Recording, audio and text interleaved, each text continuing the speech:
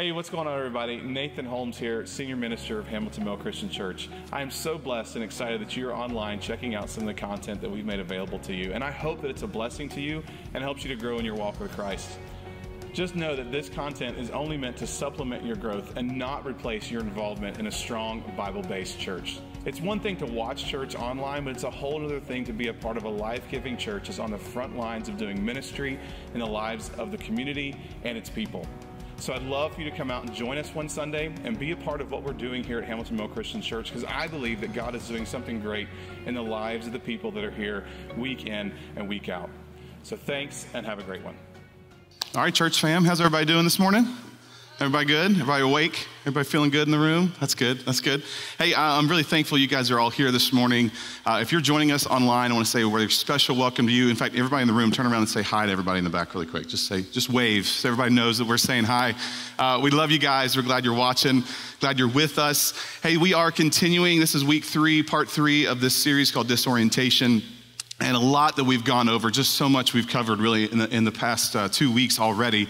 Uh, my head is a little bit disoriented, in fact, already from some of that, and today will be very much the same. And so we have some very tough teaching today that we're going to be sitting underneath of Jesus. And so I just want to ask for your patience and just uh, open heart as we go through it because uh, it's going to be a little heavy. So just bear with us. So, hey, uh, really quick, couple housekeeping things. If you uh, want to take notes, follow along. We have a way for you to do that. And you're, if you're in the room, there's an app you can download, uh, and then there's a section there that has sermon notes. We'd love for you to follow along that way. If you're online, you can go over to the right hand side. If you're, well, if you're viewing on, on our website, you can go to the right hand side and there's sermon notes over there uh, as well. If you have paper in the room, I don't need to give you instructions. You know how to do that, so it's all good. We're going to be in Matthew 5 today, a little bit of Ephesians. I'm going to reference a little bit of Malachi. Uh, kind of that's where we're going to be. They'll be on the screen, though. You don't have to worry about anything. We'll take care of you that way. At least I hope it'll be on the screen. We've had a lot of little technical difficulties uh, this weekend, so y'all bear with us, okay? Pray for us, please. Seriously, it'd be good. Uh, but speaking of prayer, we're going to jump into that in just a moment. Just ask for God's blessing upon our teaching time right now. Just ask for open hearts and open minds. Um, and the, the whole goal of today is I just really want to answer this question for us, and that is this Why is Jesus so concerned about marital fidelity? That's what we're going to be looking at today. It's going to be fun. All right, let's pray. God, we thank you so much uh, for this morning. We thank you for the opportunity we've had to gather um, in, your, in your throne room and worship you. Father, we thank you for this, this privilege that we have. And Lord, we come to this uh, tough topic, and I just pray right now as we enter into this time of teaching, Father, that your words would flow through uh, as, as we just endeavor to open your word, to yield our hearts to you. And Father, we just pray for this, this intersection uh, with your Holy Spirit. Father, we just ask that uh, everything that's said and done this morning would bring glory and honor to your name and your name alone. And it's in your son's Jesus' name we pray.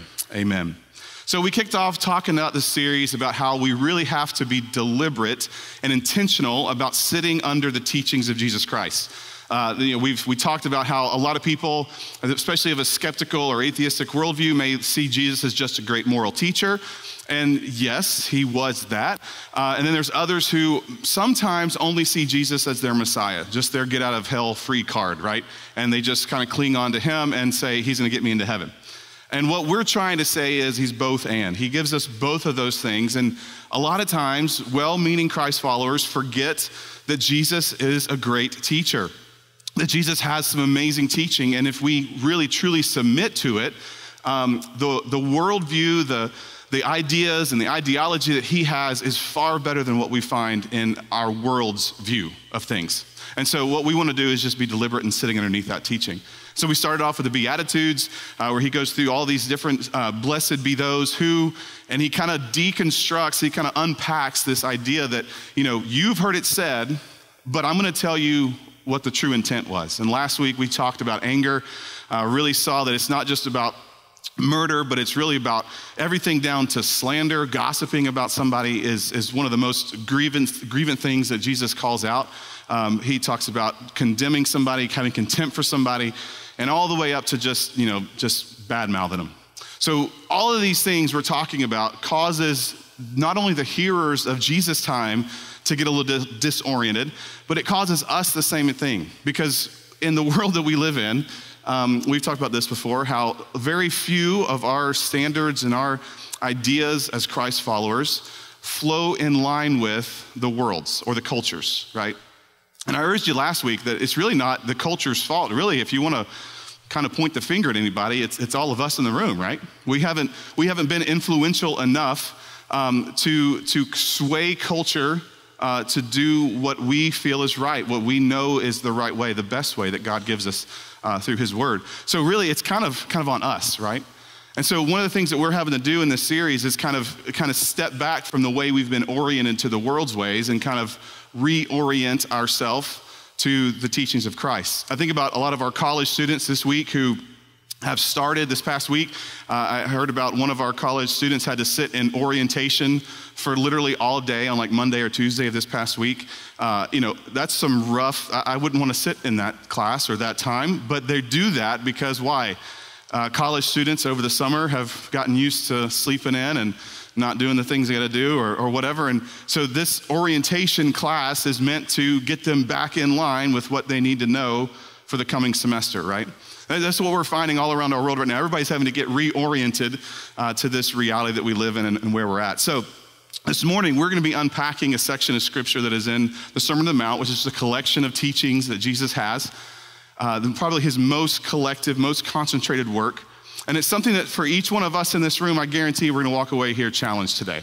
Uh, I know I have as just as I prepared for this. So uh, I want to want you to go ahead and look with me at uh, Matthew 5 is where we're going to be this morning.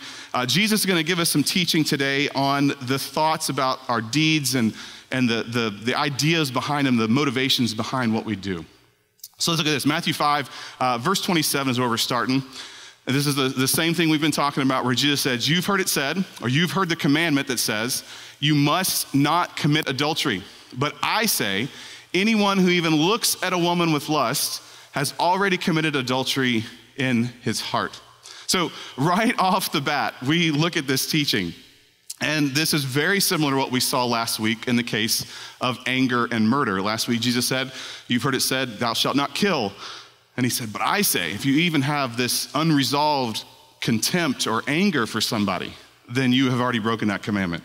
Uh, C.S. Lewis uh, puts it really great. He says this He says, An apparent trivial indulgence in lust or anger today is the loss of a ridge or railway line or bridgehead from which the enemy may launch an attack otherwise impossible. There's a very a lot of a lot of word language in there, right? That, that the enemy has this, this stakehold on the on this rail line or something as it comes into the land. You can hear C.S. Lewis's emphasis here. It, just a little indulgence in anger today, just a little indulgence in lust here today, uh, can, you can lose a foothold. You can lose a stronghold in your life and allow Satan to come in and be able to, to do things in your life that he would not normally been able to do if it wasn't for that little indulgence that we had. See, that's what we're talking about is these ideas that there are things that happened in the background of our lives uh, that have significant impact on who we are as a person. And see, Jesus really just totally disorients everybody because they've had it in their head this whole entire time like, hey, as long as I'm not going around thieving and killing and sleeping around, I'm good. I'm good. And Jesus is like, no, no, you're not. Let's talk about this. So there's this deeper meaning that we have to look at. And I want you to write this down if you're following along. It's, this the first fill in? What Jesus is condemning here is one who deliberately uses his senses to awaken lust and thus break his covenant in marriage. It's someone who deliberately uses their senses. And I, it says his here, but this ain't a, a gender specific thing. This is across the board, as we're going to see in just a moment.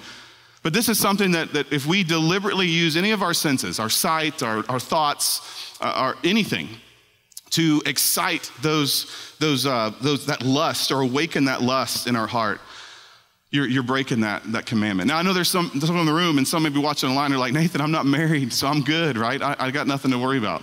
And that may be tempting to say. However, if we look at the original intent of the do not commit adultery commandment in Exodus, um, we, we know that there were some single ladies in the audience when that was given out to the Israelites, right? Like we know that that was not given to all married folk. And the reality is, is that anytime we introduce that, that third person, it's, it's a problem. That's, a, that's an adulterous thing. In fact, uh, if you want to sum it up this way, adultery is like to adulterate or the, the adding of a third person into that marriage. So even if you're not married, even if you're single, um, you know, there is this, this hope for some who will ha- enter into a covenant relationship of marriage. And so when you enter into a lustful thing, even if it's just with the eyes or, or whatever, you're breaking that covenant with that person that you will be betrothed to one day, that you will be in a covenant relationship with.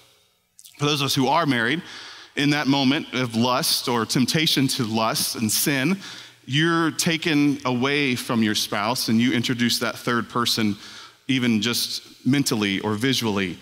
It's a big deal. It, it, changes the line, right? It changes how we look at this, it changes how we see things. And you see, Jesus is saying, kind of like, you, you just thought it was bad if you were sleeping around. Um, but I'm saying the, the moment of sin happens well before that. The moment of sin actually happens when you, you have that look of, like, oh, look at her, you know, or oh, look at him. That's when the moment of sin creeps in. It's not the actual act, it's the, the mental capacity to do that thing. You see, Jesus' definition is, is for all of us, is for one man, one woman for life. And you see, when we enter into moments of lust or that temptation to lust, we're introducing another person into that equation. We're introducing another, um, another party into that equation that was never meant to be there. You know, some examples of this, I think, if we really look at the intent behind what Jesus is teaching, I, I think obviously a low hanging fruit here is looking at somebody with sensual want, looking at somebody in such a way that you desire that person. Um, I, I think you could even go as far as to say that comparing your spouse to another person's spouse I think that's even crossing the line here. I think you're, you're looking at that other person and saying, you know, hey, if only my wife were like this or only my husband were like that. That's even crossing that line where you're looking at something else with this desire to have in your life. Obviously, reading literature that excites the senses into lust, the viewing of adult material online, which is so easily prevalent I even say texting another person and, and keeping secret friendships that your spouse doesn't know about, uh, keeping, keeping secret things where you don't have full transparency in front of your spouse. I, I would say all of those things speak to what Jesus is getting at here. The heart of this is that the marriage should be completely open to each other and each other only, with no other influences. You see, here's the summary of all this um, anything that steals our attention Anything that steals our attention from that of our spouse or future spouse is lusting for something less than God's best. You see, that's truly what we're looking at here. I love, I love to hear people when they, they say, you know, oh, God is just down on having fun. God is just, you know, He's just doesn't want you to experience any fun things, whatever, you know. And I always like to point people back to the very first commandment in Scripture. Anybody know what that first commandment is in Scripture? The very first thing God tells His creation is to be fruitful and multiply.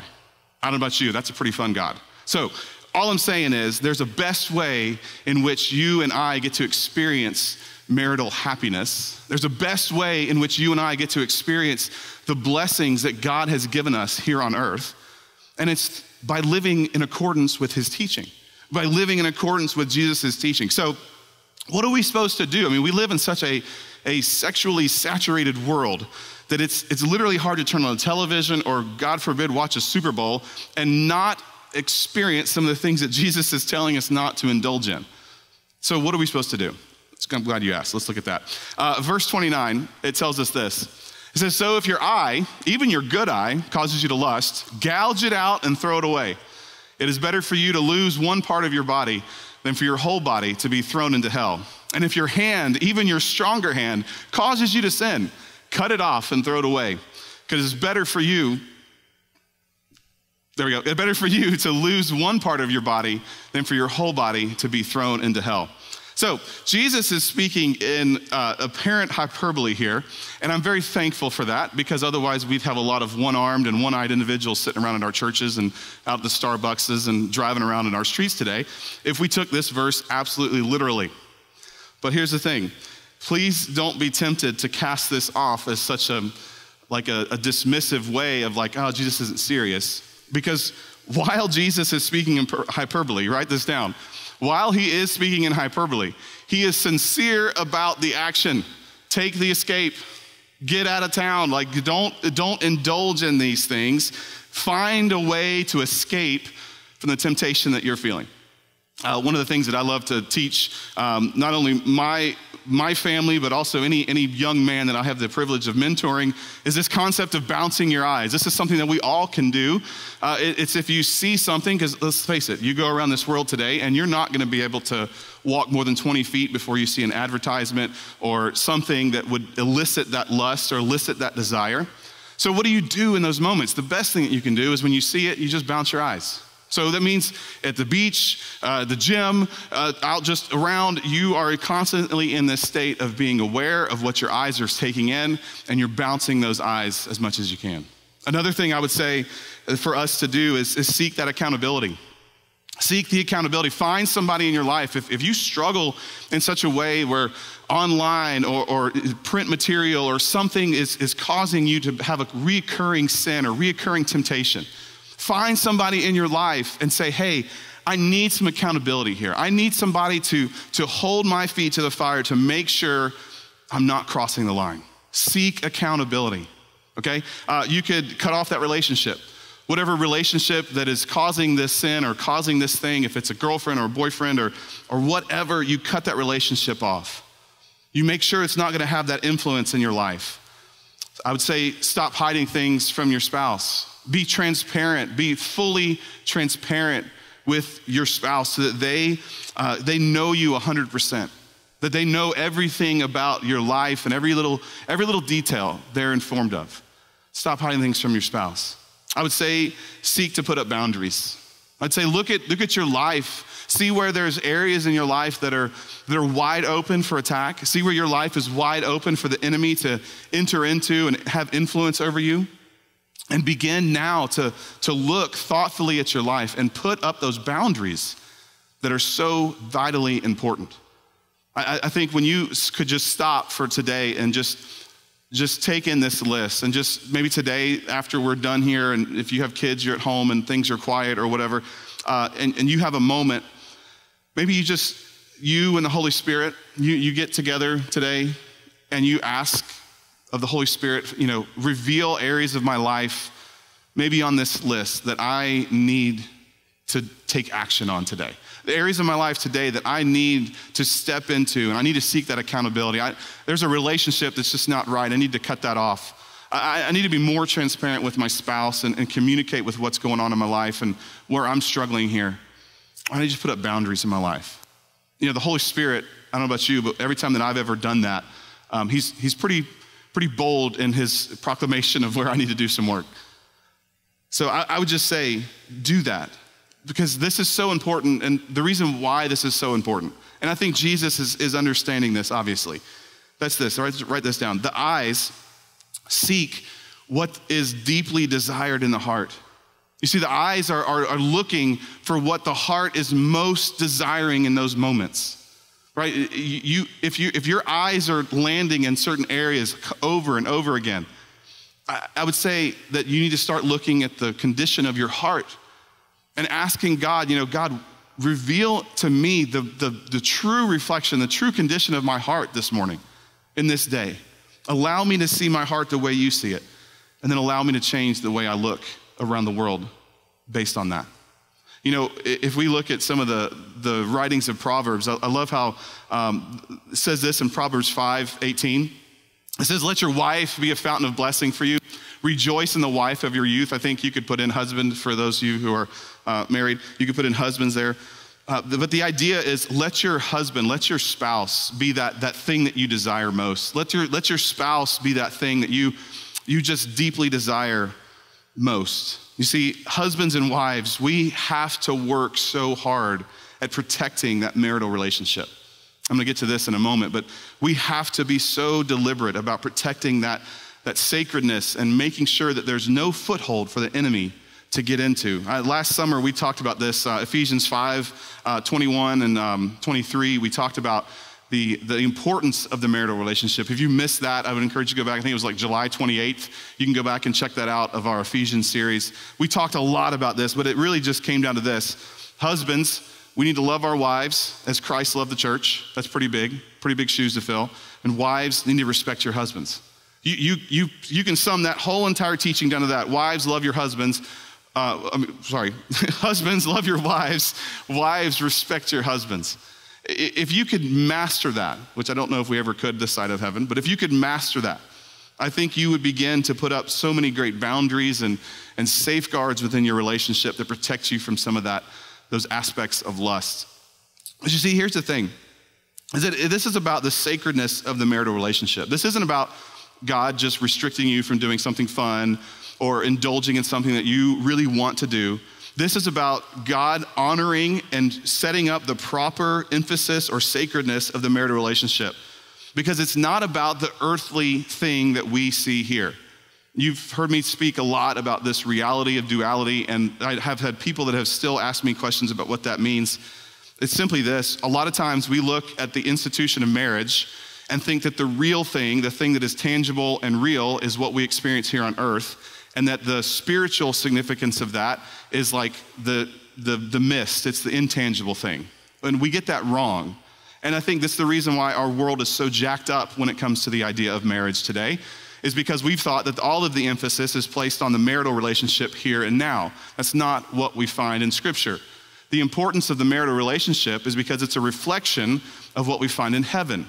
You see, when we look into the pages of Scripture, our marriage on earth should be, and in all reality is, a representation of a heavenly reality.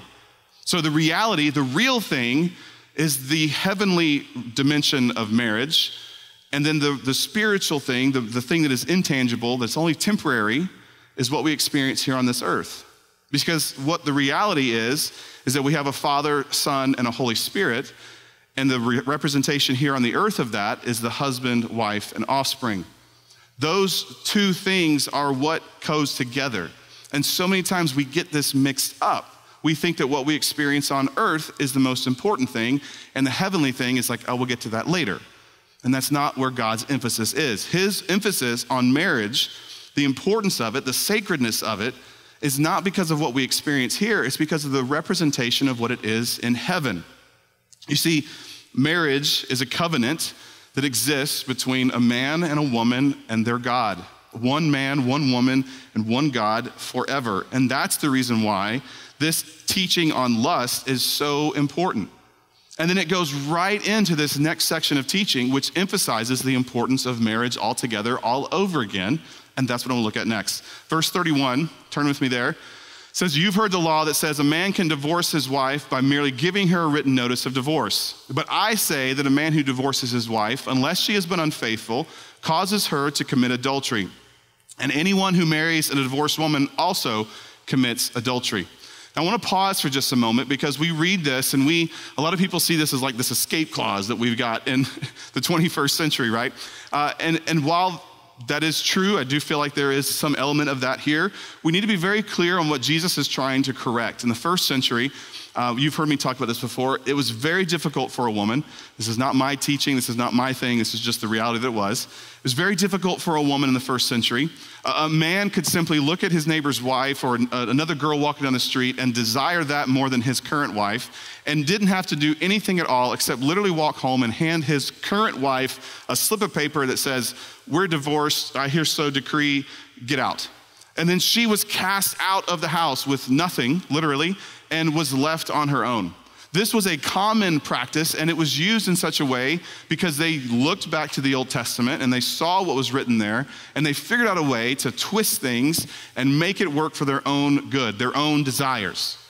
And what Jesus is saying is that you see why now the, the teaching prior to this is so pivotal now. He's saying that it's not the divorce, it's not the adultery, it's the, the look of want that causes you to sin. It's the look of want that says that's wrong.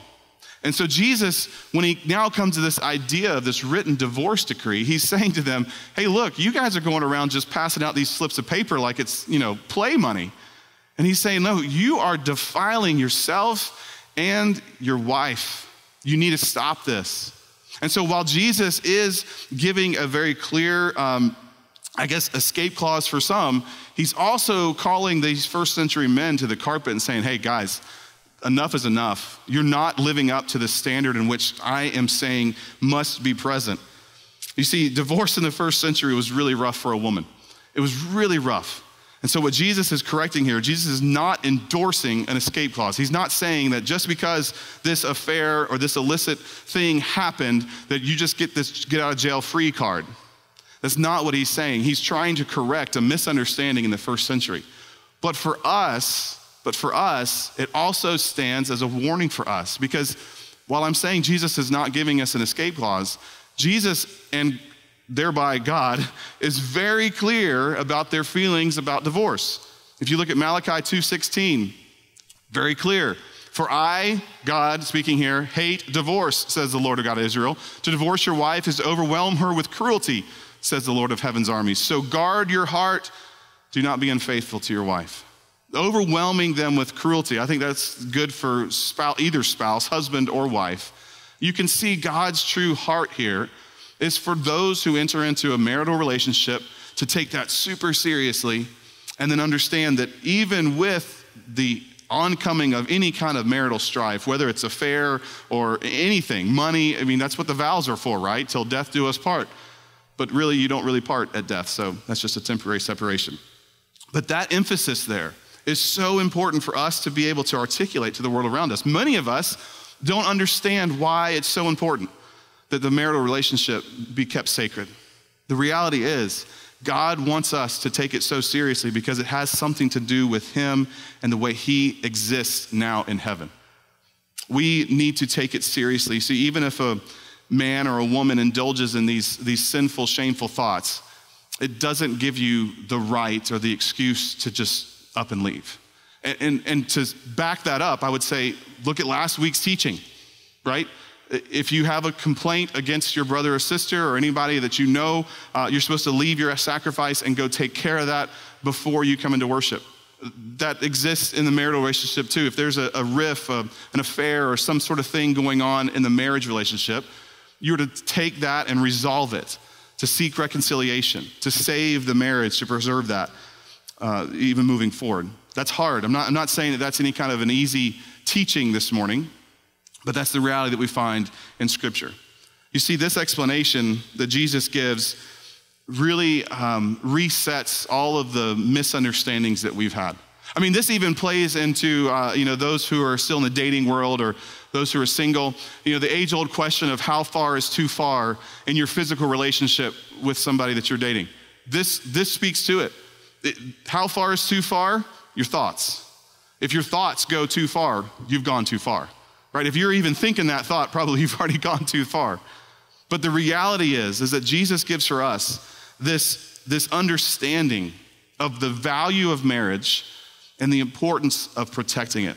Here's the thing if you're following along, this is kind of your, your sermon in a sentence, I guess you could say. Um, it's just this is that lust of the senses and attacks on marriage are a primary weapon of the enemy that comes to steal, kill, and destroy.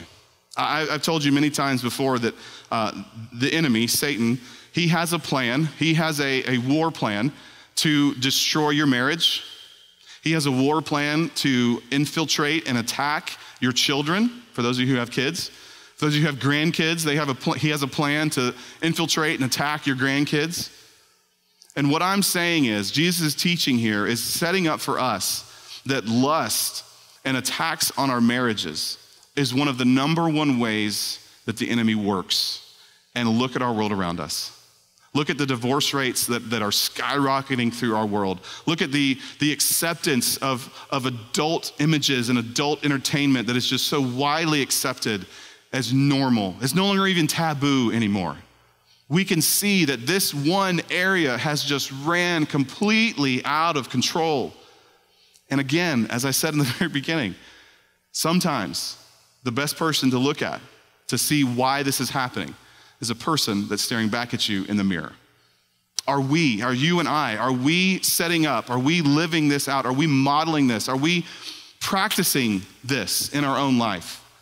Do we, do we put those boundaries up? Do we cancel those relationships? Do we, do we seek to, to always protect that marital relationship? You see, I think when we get down to it, Jesus again, as he talked about the salt and the light, we need to be so influential in the world around us that the world around us sees us living out these principles, that sees us living out these maybe to the world, extreme teachings of Jesus. So this morning, I would say, have you given up on this in sake, for the sake of what the enemy wants to kill, steal, and destroy? Because I'm telling you, Jesus is here. Jesus comes to bring that healing, to bring that peace, and to bring that comfort and satisfaction in where you're at right now.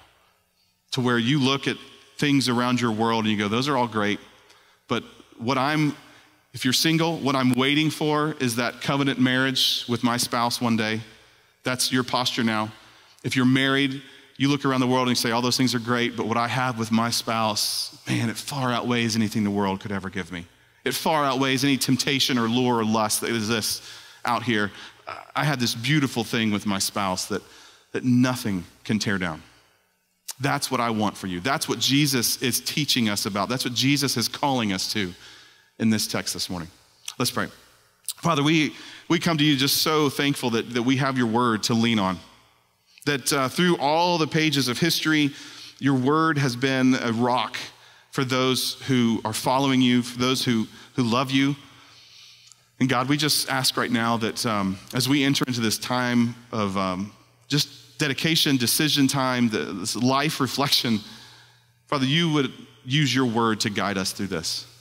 That we would surrender our life and even our very wills to what your word has to say. Father, it's so easy for us to get caught up in the world and the teachings of the world and the, the ways of the world. Father, for everybody that's in the sound of my voice, both in this room and, and maybe watching online, Father, we just ask that that you would help, for, uh, help provide some clarity for us. Help us to see things with your eyes. Help us to see this teaching today through the lens of your scripture and through your Holy Spirit. Father, we love you. We thank you for your Son. It's in his name we pray. Amen. If you're in the room or watching online, I just want to, two things really quick, if I could. Um, I think about Jesus, and I think about the word that is the used of him and used of us, that he is our bridegroom, that he is, he is coming back for his church, his bride one day. And I love the illustration of that. I love the mental image of that, that Jesus is coming back for, for his bride. And we are to be ready for him, we're to be prepared. And so, for those watching, if you don't have a relationship with Jesus, are you ready? I don't use this line of thinking very often, but if, if the end were to come today, if the end would happen today for you in your life, would you be ready to meet Jesus? Would you be ready to walk into paradise? Or would you be walking apart from Jesus Christ? It's a very real question that we all must wrestle with. So, this morning, if you've never accepted Jesus as your Lord and Savior, I just want to give you an opportunity to do that. Uh, if you're in the room, I'm going to be down front here. I would love to talk with you, begin a conversation with you. If you're not ready to come down, that's fine. I'll be out in this foyer. You could stop by and we could start talking. We could begin that conversation. If you're online, you can hit me up on email. My email is nathan at hmccfamily.com. I'd love to be able to enter a conversation with you and, and just start talking about how Jesus has radically changed my life and how he can do the same thing for you. For everybody else, those walking with Christ, I think this morning, just as much as last week, um, there is a strong call from our Lord and Savior, but also our teacher, Jesus, to make sure that we're walking with Him in the ways that He's teaching. So this morning, I just would encourage you to search your life, look for areas that are not yet surrendered to Him, look for areas that are not yet given over to your Lord and Savior, Jesus Christ. And use this time that we're about to enter into as, as maybe a time to kind of realign or reorient yourself with the teachings of Jesus. Would you stand? Let's sing. So, I understand that we come to this moment right now, and there's a lot of different, you may be in a lot of different places just within this room and watching online. I know that there's things that have happened in marriages um, that are hard to move past. There's conflicts, there's, there's strife, there's um, maybe there's been affairs, maybe there's been that infidelity. For some, the, the problem isn't within the marriage, it's within your heart. There's lust that exists, there's an addiction that is very active. And the enemy doesn't have a foothold, he's set up a whole entire fortress. And there's some things that need to be torn down today. I just want to say, maybe in this next moment, you know, we're singing this song, Do It Again. I, I, I love that there is never a sin that is too great that Jesus can't heal. There's never a, a conflict that is too far that God can't repair. And that in every single situation, there is grace that is sufficient enough to cover everything that you and I ever enter into. I don't know about you. that makes me very, very thankful to be a child of my Heavenly Father. So I would just say for the marriages that are struggling, for the marriages that are in, in conflict and strife, maybe this needs to be the, the anthem that you sing over your marriage in this next season. If you're struggling with something in your own personal life, in your own heart, maybe this, this little bridge is something that you just sing over your life in this next season. Where you just say, you know, I've seen you move before, God, and I believe that you're going to do it again. There's not a single thing that you can't do. There's not a single stronghold you can't break down. So, Father, do it again. Do it again. Would you sing?